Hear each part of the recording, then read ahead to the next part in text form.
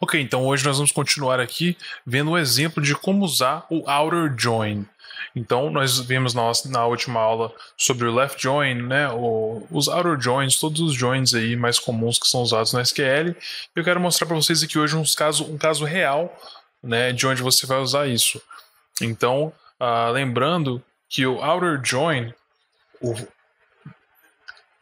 left outer join, pode ser, e normalmente ele é abreviado como simplesmente left join, ok? Então, se você pegar um query aí na, na sua empresa, no seu trabalho, você provavelmente vai ver ele como left join, que é a forma mais usada. E aí, nós temos algum caso, um caso aqui onde isso vai ser bem interessante de ver, que é a, quando nós temos informação de pessoa, está aqui na tabela person.person, person, nós temos aqui alguma, uma coluna Business Entity ID e nós temos a informação de cartão de crédito, que fica aqui na tabela Sales.Person Credit Card. E aqui temos também o Business Entity ID. Então, o que eu quero descobrir aqui? Eu quero descobrir. Então, quero descobrir quais pessoas têm um cartão de crédito registrado. Como que eu faria isso? Eu faria da seguinte forma: eu vou select um, tudo from person.person person, inner. Eu vou fazer primeiro inner join. Inner join sales.person credit card on. O que, que eles têm em comum? Deixa eu colocar um, um alias aqui para ficar mais fácil. PC e PP e PC, para né, poder identificar cada um. Então nós temos aqui o pp.businessentity igual ao pc.businessentityid. Se eu seleciono isso aqui, nós vamos perceber que ele retornou aqui exatamente aqui embaixo 19.118 linhas. E aqui vem a informação do cartão de crédito no final, que ele fez a junção usando o join. Vamos anotar aqui nós temos com inner join 19.118 19.118 linhas.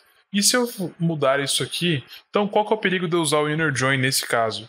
É, eu posso estar excluindo linhas meu, do meu resultado. Então aqui eu tenho esse, essa quantidade de resultado, eu tenho esse, essa quantidade de linhas, porém se eu vier aqui e fizer um left join, que é o left outer join, né? Eu vou ter dezenove mil novecentos e setenta e dois resultados, né? Então, o left join nos deu dezenove mil novecentos e setenta e dois resultados. E o que, isso significa? Isso significa que aqui nós temos algumas pessoas que não estão com um cartão de crédito registrado. E essa é a parte onde o left join vai te ajudar. Ele vai incluir para você dados. O left join vai incluir os resultados, mesmo onde não estão presentes as informações na segunda tabela, a tabela do left join, que no caso é a person credit card. Então, se a gente vem aqui, você pode ver que aqui não tem informação, certo? Não tem informação de cartão de crédito nessas linhas aqui, e logo depois ele chega nas que tem. Então, a, o left join é interessante para que você extraia essa informação das tabelas que não tem ali dados preenchidos dentro dela. Então, se eu fizer, se eu quiser descobrir a diferença entre os dois, eu poderia fazer um select aqui, 19.972 menos 19.118. Se eu dar um select nisso aqui, nós temos essa diferença aqui, 854 pessoas que não têm um cartão de crédito registrado. Então, como que eu poderia pegar e descobrir e extrair só essa informação, só das pessoas que não têm um cartão de crédito registra registrado? Como que eu poderia fazer isso? Eu poderia vir aqui e fazer um where pc.businessentityid is null, ou seja, onde não existe um cartão de crédito registrado. E aí nós teríamos aqui todas essas pessoas. Se você vem aqui na esquerda, você vai ver que nenhuma delas tem um cartão de crédito registrado. E aqui você poderia, por exemplo, extrair né, essas informações aqui e passar uh, um relatório falando: olha, as pessoas tais, essas pessoas aqui, nenhuma delas tem um cartão de crédito registrado, elas não podem fazer compra com cartão de crédito.